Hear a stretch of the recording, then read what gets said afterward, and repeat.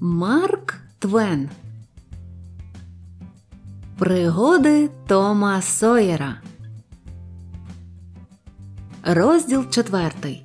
Як Том мало не став першим учнем.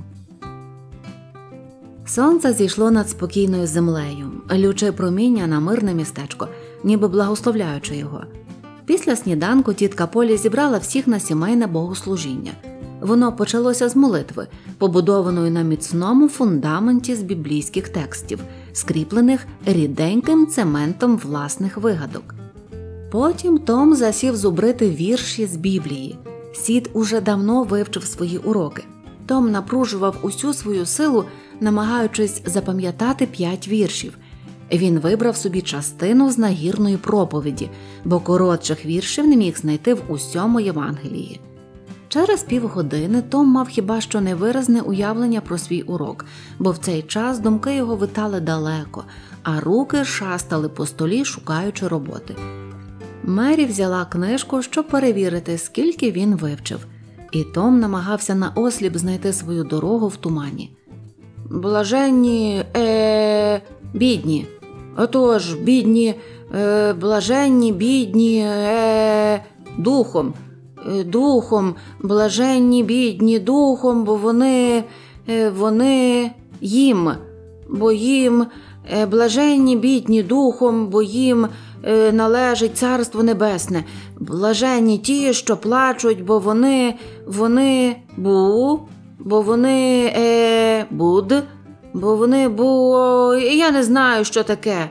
Будуть. Я ж кажу, будуть, бо вони будуть, е, бо вони будуть, е, е, будуть плакати.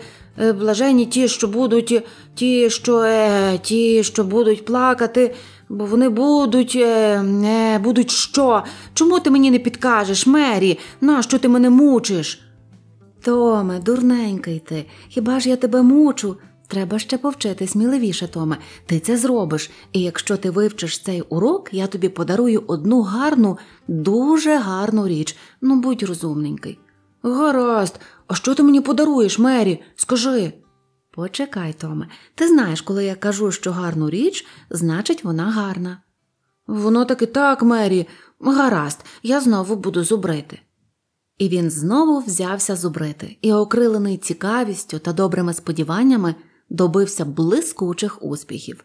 Мері подарувала йому новісінький складений ножик ціною в 12,5 центів.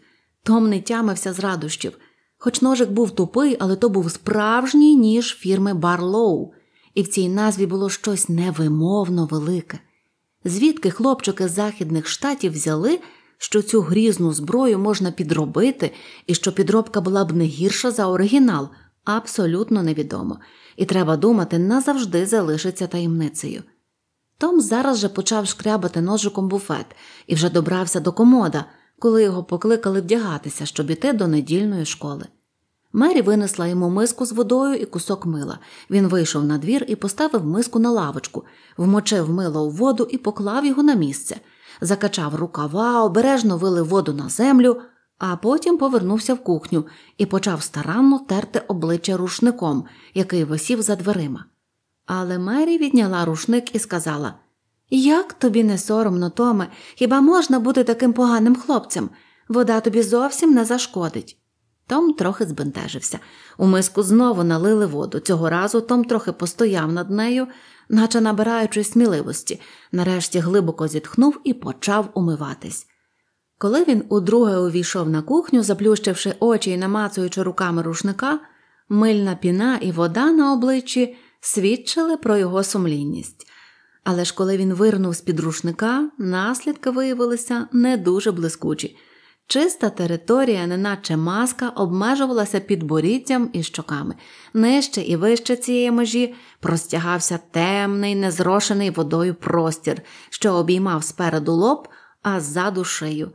Мері взяла його в свої руки, і після цього він уже нічим не відрізнявся за кольором шкіри від своїх блідолицих братів. Волосся його було дбайливо зачесане, коротенькі кучері лежали гарно і рівно. Сам він завжди дуже дбайливо пригладжував свої кучері і намагався притиснути їх до голови, бо вважав, що кучері роблять його схожим на дівчину, і це псувало йому все життя. Потім Мері витягла для Тома костюм, який він ось уже протягом двох років одягав тільки в неділю. Костюм цей називався Той другий. Отже, ми можемо судити, скільки костюмів було в Тома. Коли він одягнувся, кузина причепурила його. Вона застебнула йому куртку на всі гудзики, розправила на плечах великий комір сорочки, почистила щіткою його вбрання і нарешті увінчала його строкатим солом'яним брилем. Усе це дуже прикрасило його, але не радувало. Ніяково йому було від цього вбрання, від цієї чистоти. Він сподівався, що Мері забуде хоч про черевики, але сподівання ці були марні. Мері помазала черевики, як годиться, салом, і принесла йому. Тут терпець Томові урвався, і він почав скаржитись, що його завжди змушують робити те, чого він не хоче. Але Мері лагідно попросила його будь ласка, Томе, будь же розумненький. І він, мимрячи щось, узяв таки черевики. Мері одяглася швидко, і всі троє дітей вирушили до недільної школи, що її Том ненавидів усім серцем, а сід і Мері любили. Навчання в недільній школі тривало з 9 до пів на 11, потім починалася церковна служба. Сід і Мері завжди з власної охоти лишалися на проповідь. Том теж лишався, але з іншими важливішими намірами. Тверді лави в церкві були розраховані сотні на три відвідувачів. Сама церква була маленькою, непоказною будівлею з незграбною дзвіницею. У дверях Том відстав на один крок від своїх і звернувся до одного теж по святковому одягнутого товариша. Слухай, біле, є в тебе жовтий квиток? Є. Що ти візьмеш за нього? А що ти даси? Кусок локриці і риболовний гачок. Покажи. Том показав. Речі були в належному вигляді, і майно перейшло з рук до рук. Потім Том виміняв дві білі мармурові кульки на три червоні квитки і ще пару кульок на пару синіх квитків. Він зупиняв біля входу інших хлопців і всім пропонував свої скарби в обмін на квитки різних кольорів. Це тривало 10 або 15 хвилин, а тоді вже він увійшов до школи разом з юрбою чистеньких і галасливих хлопців та дівчат, підійшов до свого місця і почав сварку з першим же хлопцем, який трапився на дорозі. Втрутився вчитель суворий літній чоловік. Але тільки но він одвернувся, як Том ударив одного хлопця, ущепнув другого і, коли той обернувся, уткнув носа в книгу. Через хвилину Том уже вколов шпилькою іншого сусіда, щоб почути, як той зойкне, і знову дістав догану від учителя. А втім, увесь Томів клас був один в один галасливі, метушливі хлопці й дівчата. Виходячи відповідати, жоден з учнів ніколи не знав як слід уроків, але йому підказували з усіх кінців. Сяк так вони відповідали вчителеві, і кожний діставав свою нагороду маленький синій квиток. Синій квиток був платою за два біблійні вірші, вивчені на пам'ять. Десять синіх квитків обмінювалися на один червоний, десять червоних квитків дорівнювали одному жовтому. За 10 жовтих квитків директор нагороджував учня Біблією, що в простенькій палітурці коштувало 40 центів в ті добрі давні часи. Та чи багато з моїх слухачів мали б силу і терпіння вивчити на пам'ять дві тисячі віршів, хоч би в нагороду за це їм була обіцяна Біблія з малюнками Доре. Проте Мері здобула таким чином дві біблії. Для цього їй довелося терпляче попрацювати два роки а якийсь хлопець з німецької сім'ї навіть чотири чи п'ять. Якось він прочитав підряд три тисячі віршів, не зупиняючись, але таке напруження спричинилося до сумних наслідків, і від зубріння він став ідіотом. Це було велике горе для шкільного начальства, бо директор завжди в урочистих випадках викликав цього хлопця ляпати язиком, як казав Том. Тільки старші учні умудрялись зберігати свої квитки і довго і нудно зубрили, щоб удержати в подарунок Біблію. Тому видача таких нагород була нечастою і пам'ятною подією. Учень, що одержував Біблію, ставав героєм дня, тому серце кожного школяра негайно спалахувало честолюбством, якого іноді вистачало на цілих два тижні. Можливо, Том не був захоплений духовною жадобою настільки, щоб прагнути цієї нагороди заради неї самої, Але, безперечно, останні дні вся його істота горіла від бажання здобути будь-якою ціною славу і блиск.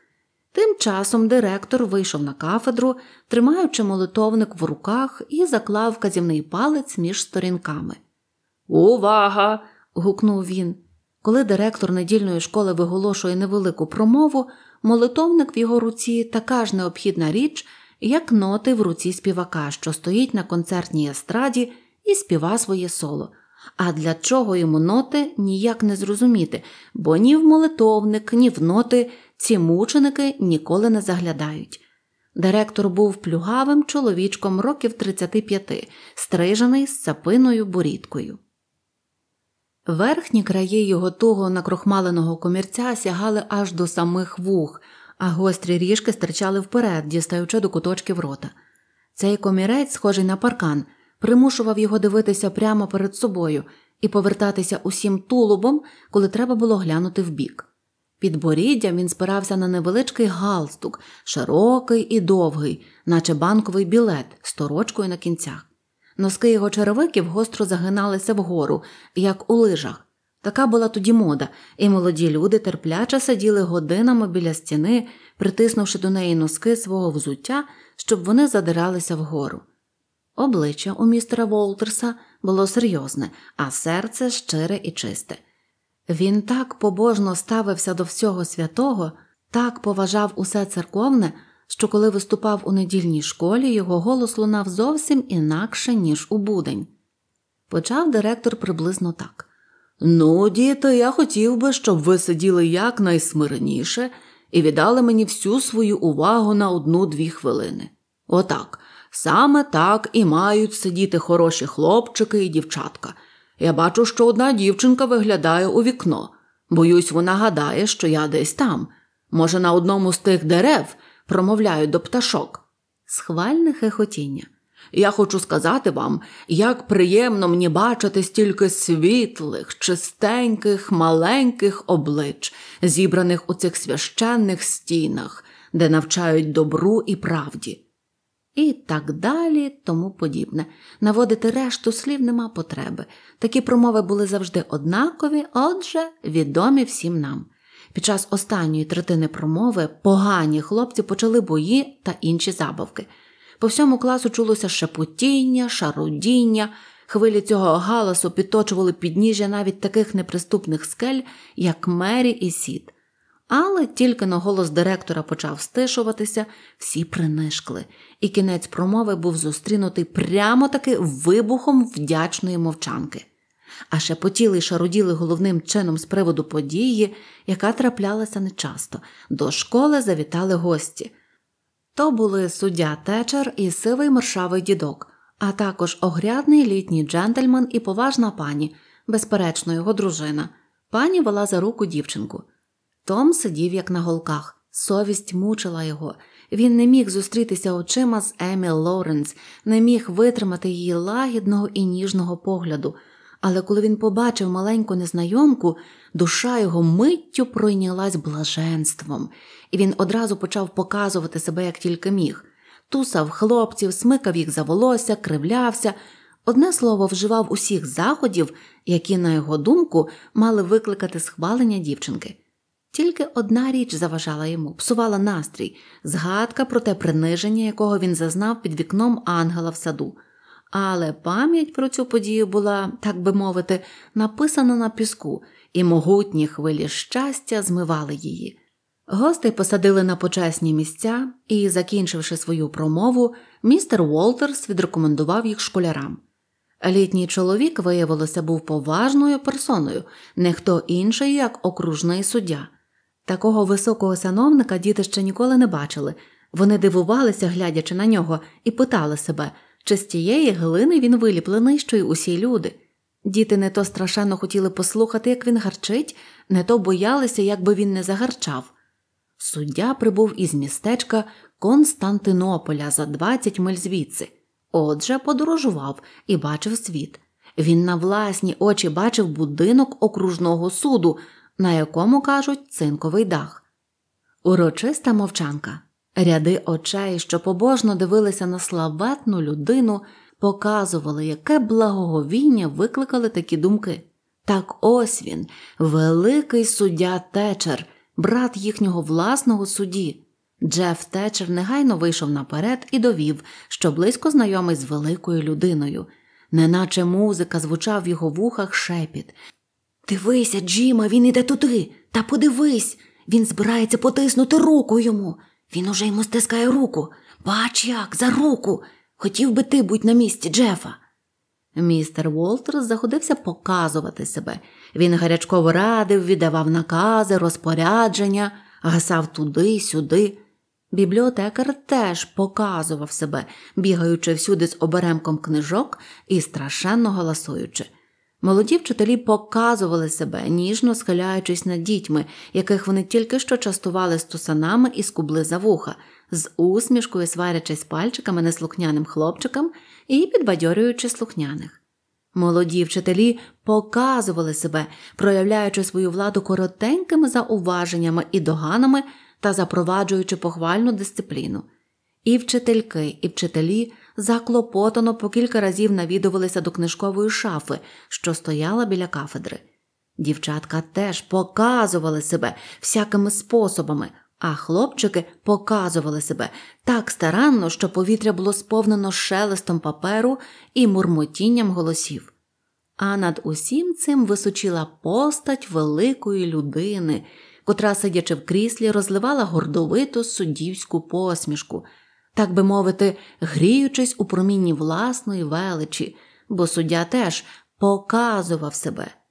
Одного лише бракувало містеру Волтерсу для цілковитого блаженства.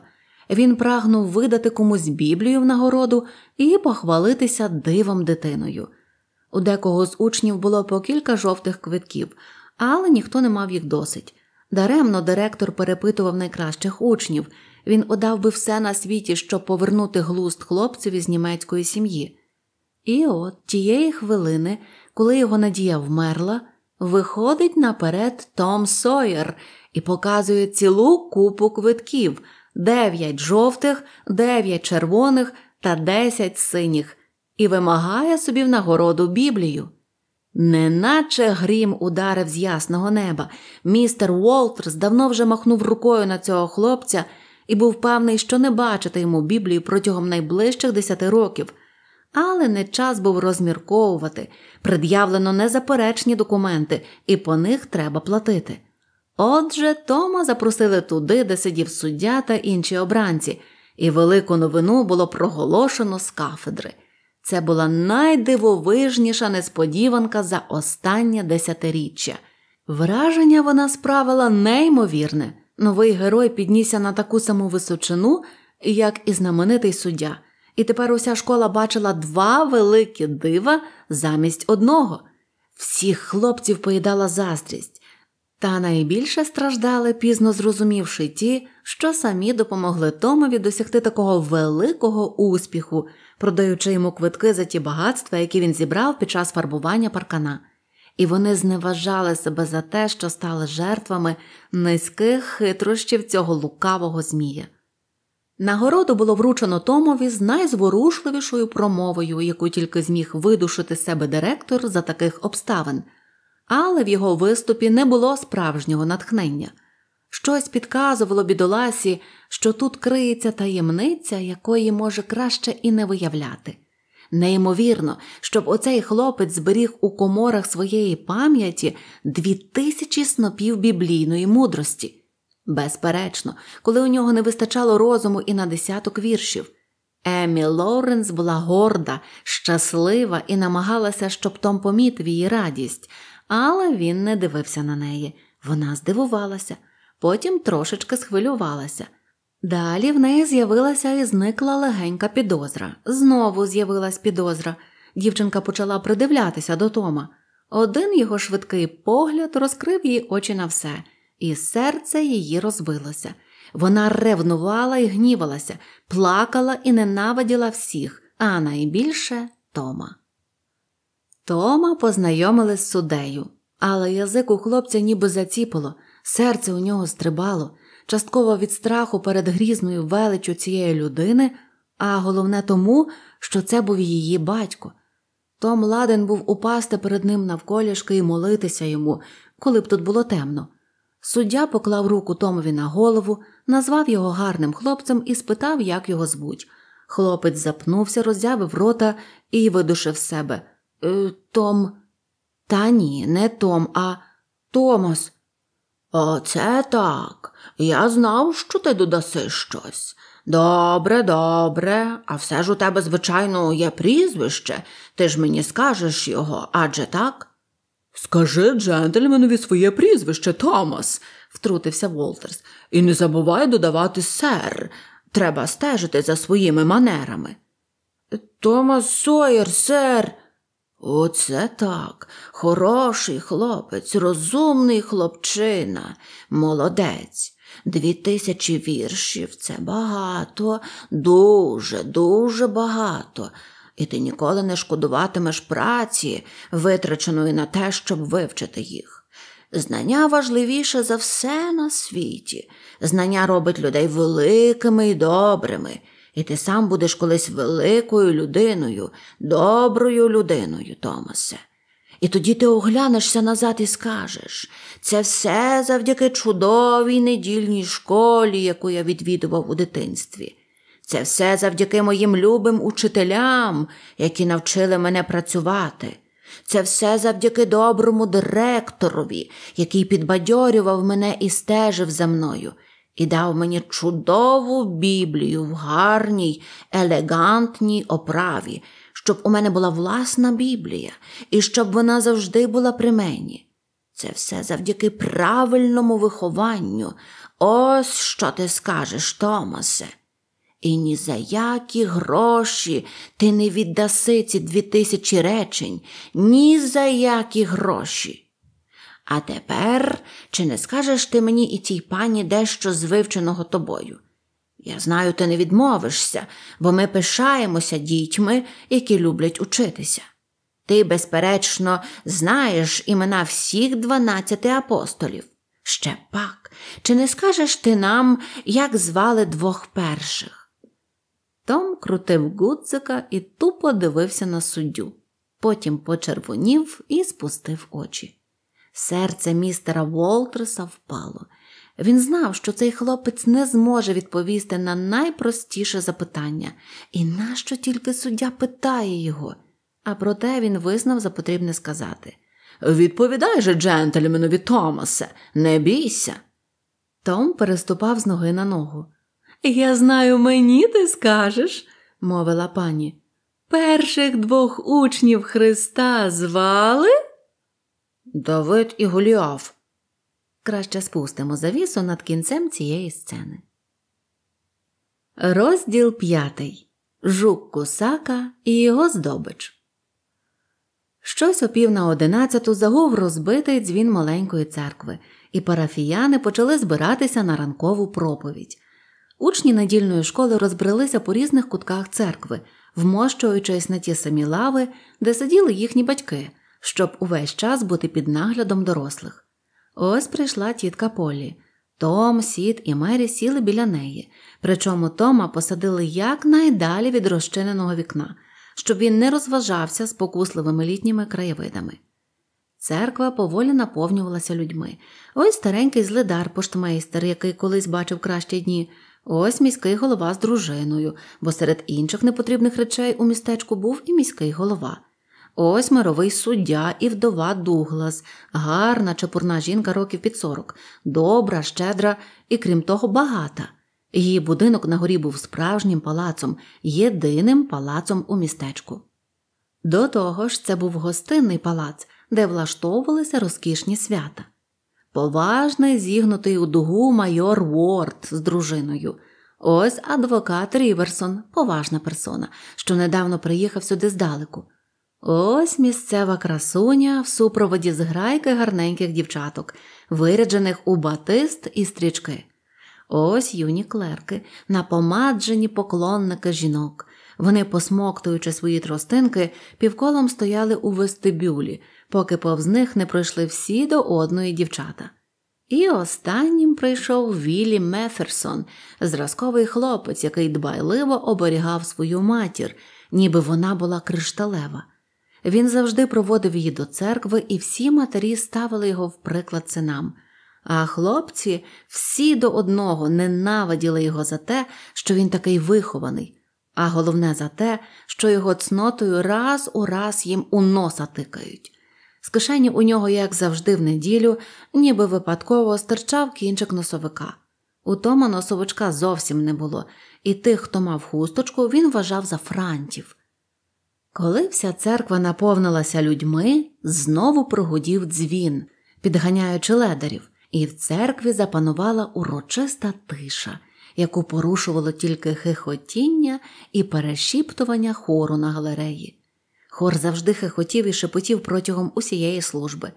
Був колись один такий церковний хор, який поводився пристойно, тільки я забув, де саме. Це було щось дуже давно, і я майже нічого про нього не пам'ятаю. Але, по-моєму, це було не в нас, а десь за кордоном. Священик прочитав гімн, завиваючи, як люблять у цім краю.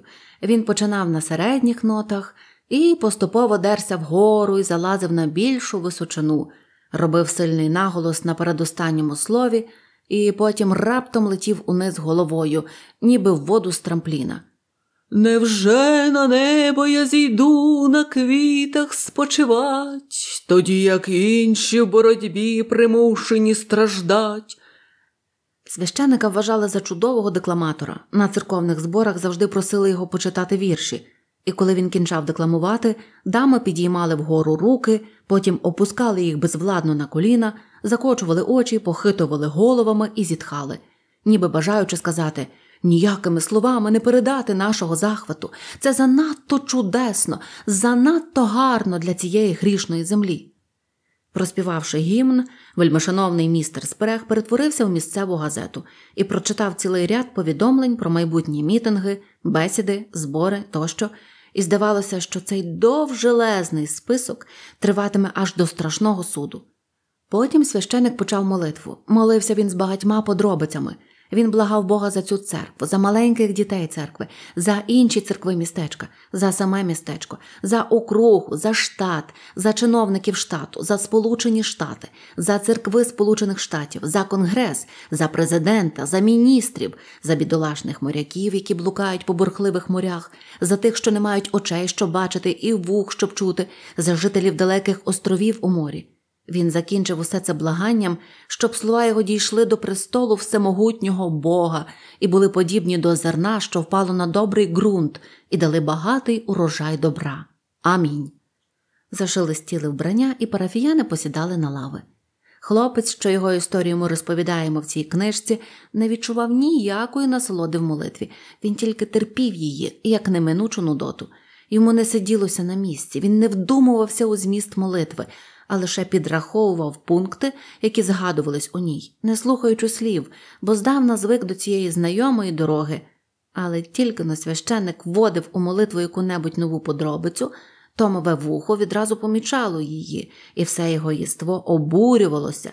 Він вважав будь-яке затягування цієї молитви нечесним вчинком, шахрайством. Під час молитви на спинку передньої лави сіла муха. Ця муха просто таки вимучила його.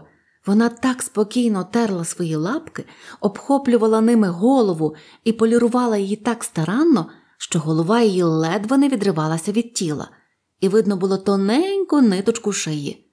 Потім задніми лапками вона чистила і шліфувала крильця і розгладжувала їх, ніби то були поли фрака, щоб вони щільніше прилягали до тіла. І весь свій туалет вона робила поволі, спокійно і упевнено, ніби знала, що їй нічого не загрожує. Та й насправді їй нічого не загрожувало, бо, хоч як свербіли руки втома, але він не наважувався зловити муху під час молитви, бо вірив, що одразу погубить свою душу. Але тільки но пастор виголосив останнє слово, рука Тома сама собою простяглася вперед, а коли пролунало амінь, Муха вже була в полоні. Та тітка помітила цей маневр і змусила Тома випустити муху. Священик виголосив цитату з Біблії і монотонним гугнявим голосом почав проповідь. Таку нудну, що незабаром слухачі закуняли, хоч проповідник загрожував грішникам киплячою смолою й сіркою, а число обраних, яким обіцяне було довічне блаженство, зводив до такої мізерної цифри, що виходило такої жменьки праведників, мабуть, і не варт рятувати. Том перелічив сторінки проповіді. Він завжди знав, скільки сторінок у проповіді, і майже ніколи не знав нічого з їхнього змісту. Але цього разу дещо зацікавило його. Священник намалював величну і зворушливу картину того, як настане царство Боже на землі, і зберуться всі народи, що населяють Всесвіт, і лев ляже поруч з ягням, і малесенька дитина поведе їх уперед. Пафос і мораль цього величного видовища ні трошки не зворушили Тома. Він думав тільки про те, яка це важлива роль буде для дитини та ще на очах усіх народів. Він спіймав себе на думці, що хотів би бути на місці тої дитини, якщо Лев смирний. Але незабаром знову пішли сухі міркування, і Томові муки поновились. Раптом він згадав, який скарб у нього в кишені, і поспішив витягти його. То був великий чорний жук з міцними щелепами, жук кусака, як називав його Том. Жук був схований у коробочку з під пістонів. Коли Том відкрив коробочку, жук насамперед укусив його за палець. Природно, що хлопець швидко відкинув його геть і сунув палець у рот. Жук покотився по церкві, впав на спину і безпорадно борсався, не вміючи перевернутись. Том дивився на нього і прагнув схопити його знов, але жук був далеко. Зате він послужив розвагою для багатьох інших, які не цікавилися проповіддю. Та ось до церкви забрів пудель, сумний, вимучений літньою спекою і тишею. Йому надокучило сидіти на одному місці, він прагнув розваг і нових вражень. Побачивши жука, він одразу підняв хвоста догори і радісно закрутив ним. Пудель довго вивчав свою здобич, кружляв навколо неї, здалеку нюхав її, потім насмілився, підійшов ближче. Потім роззявив пащу, схотів схопити жука і промахнувся. Повторив цю спробу ще і ще. Очевидно, це йому сподобалося. Він ліг на живіт, поклавши лапи обабіч жука, і провадив далі свої досліди. Нарешті це йому набридло. Він став байдужий і неуважний, почав куняти.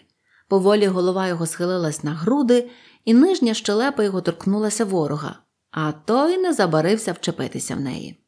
Пудель заскавучав, закрутив головою, жук відлетів на два кроки і знов впав на спину. Ті, що сиділи поблизу і бачили це, тіпалися від німого сміху. Багато облич сховалося за віялами і носовичками, і Том був цілком щасливий. У пуделя був збентежений вигляд. Очевидно, він сам почував, що пошився в дурні, але серце його сповнювала образа і жадоба помсти. Тому він підійшов до жука і знову став обережно атакувати його, стрибав на нього з усіх боків, майже торкаючися ворога передніми лапами, клацав на нього зубами і крутив головою так, що вуха ляпали. Але, зрештою, йому й це надокучило. Тоді він спробував розважитися мухою, проте й це здалося йому нецікавим. Постежив за мурашкою, нишпорячи носом по підлозі, але й тут незабаром занудьгував, позіхнув, зітхнув, зовсім забув про жука і спокійнісінько сів на нього. Розляглось несамовите скавучання, і Будель почав гасати по церкві. Перед самісіньким вівтарем перебіг на другий бік, прожогом кинувся до дверей, від дверей назад, не перестаючи скавучати, бо жук, уп'явшись йому в живіт, не розтуляв своїх щелеп. Що більше пес гасав, то нестерпніший ставав біль. І, зрештою, собака перетворився на якусь вкриту шерстю комету, що кружляла по своїй орбіті зі швидкістю світла. Нарешті очманілий, нещасний пудель скочив на коліна своєму хазяїнові, а той викинув його у вікно. Жалісне скигління чулося дедалі тихше і нарешті завмерло вдалечині. Усі в церкві сиділи червоні, засапані, ледве стримуючись, щоб не розреготатися. Навіть проповідь довелося перервати. І, хоч проповідник відновив свою промову, але тепер він уже шкутильгав і запинався. Нічого було й думати про її моральний вплив. Навіть найсуворіші фрази парафіяни зустрічали приглушеними вибухами нечестивого реготу, неначе проповідник сказав щось неймовірно смішне. Всі зітхнули полегшено, коли ці тортури закінчилися. і проповідник благословив свою паству. Том Сойер повертався додому веселий, вирішивши, що можна знайти задоволення і у молитві, коли тільки внести в неї деяку різноманітність. Одне лише псувало йому настрій він нічого не мав проти того, що пес погрався з його жуком, але навіщо було забирати жука з собою? Це вже нечесно. Далі буде. Ставте свої вподобайки і до зустрічі на каналі Світ Казок.